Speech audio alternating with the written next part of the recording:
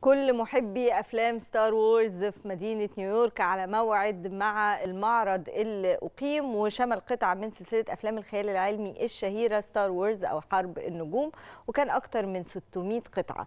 القطعة كانت عبارة عن شخصيات بالحجم الطبيعي ونماذج ومنحوتات وتماثيل وصور وملصقات وكمان أزياء.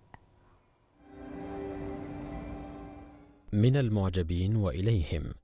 معرض يشمل قطعا من سلسلة أفلام الخيال العلمي الشهيرة Star Wars أو حرب النجوم. أقيم في مدينة نيويورك الأمريكية.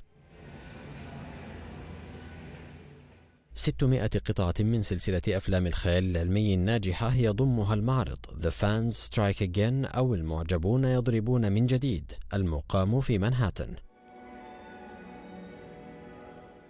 وتشمل القطع شخصيات بالحجم الطبيعي ونماذج ومنحوتات وتماثيل وصورا وملصقات وأزياء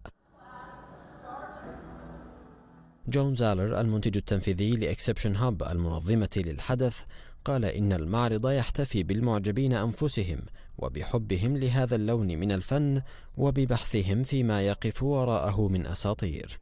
Their exploration of the mythos that creates it وأضاف أنه وبالنسبة للكثيرين فإن جاذبية حرب النجوم تتمثل في الأسطورة العميقة التي تمتد عبر كل قصص السلسلة.